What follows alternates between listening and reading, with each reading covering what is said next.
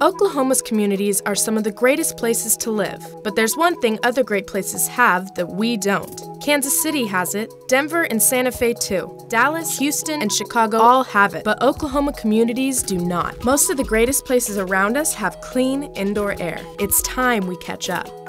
Let's sharpen our competitive edge. It's time for Oklahoma's communities to have the right to choose smoke free. Learn more at stopswithme.com. That's stopswithme.com.